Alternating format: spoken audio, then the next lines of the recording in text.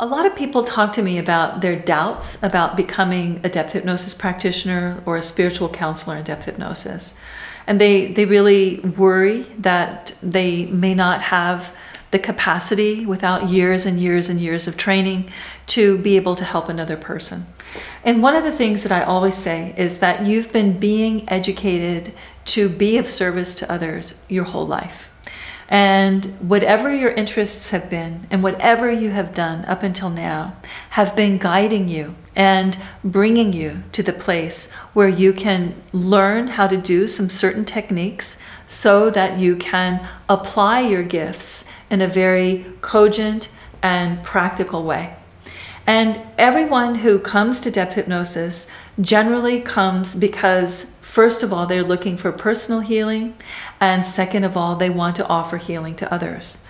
And one of the things that I always say is that the path that you've taken of your own healing will probably be the main path that you will take in offering healing to others. Because as you heal yourself, you learn what it is to heal others. I can't tell you how many students have been first patients or clients and I remember one woman who came in for help with depression, and she wound up becoming a counselor, particularly for women with postpartum depression. That was in the process of healing her own depression, she was really able to gather tools and techniques for helping other people with depression.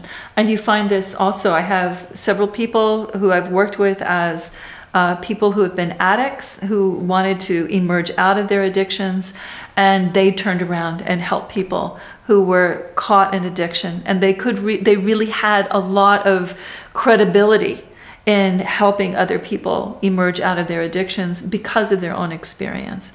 And this is true for lots of other people coming into the process of becoming a depth hypnosis practitioner. So I encourage you to think about what your gifts are. Think about how you want to offer them to the world and think about depth hypnosis as a, one modality of many that might be able to help you arrive at the place where you can actually be of service to the world in the way that you want.